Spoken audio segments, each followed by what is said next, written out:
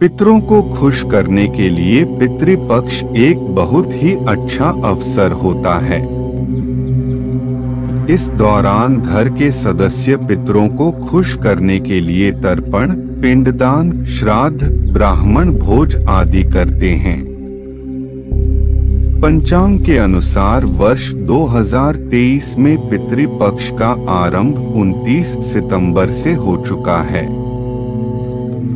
और 14 अक्टूबर 2023 को इसकी समाप्ति होगी। इस दौरान पूजा पाठ, दान पुण्य करने से पितृ खुश होकर पूरे परिवार की झोली खुशियाँ से भर देते हैं। तो चलिए इस मौके पर जानते हैं कि पितृपक्ष के दौरान कौन सी चीज़ का दान करने से पूर्वज खुश होकर हर परेशानी को दूर करते हैं।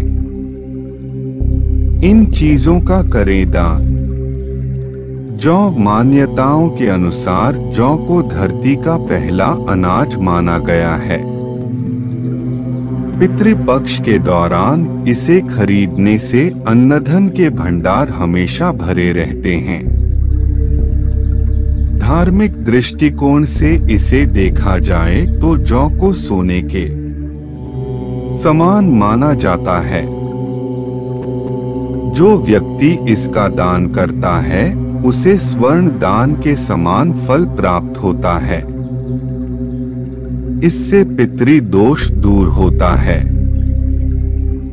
सरसों और चमेली का तेल पितृपक्ष के दौरान सरसों और चमेली के तेल का दान करने से घर में चल रही आर्थिक तंगी दूर होती है और धन का आगमन बना रहता है। वहीं इसी के साथ श्राद्ध पक्ष में पितरों के नाम का सरसों के तेल का दीपक लगाना चाहिए। ऐसा करने से वे प्रसन्न होते हैं। म्यूनर एक काल तिल। कहते हैं कोई भी श्राद्ध काले तिल के बिना पूर्ण नहीं होता।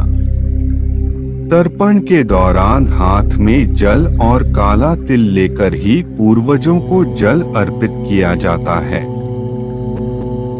इन दिनों में काला तिल खरीदने और दान करने से धन का विस्तार होता है। और संतान की सुख की कामना भी पूर्ण हो जाती है।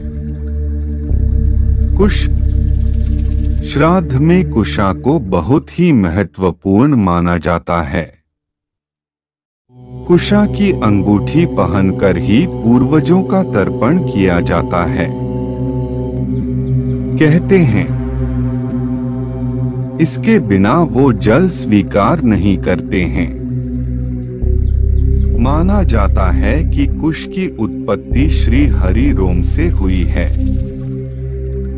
ऐसे में अगर कुश को घर में लाने से परिवार में खुशहाली बनी रहती है, और बिगड़े हुए काम भी बन जाते हैं। चावल पितृदोष निवारण के लिए चांदी का दान भी शुभ माना जाता है।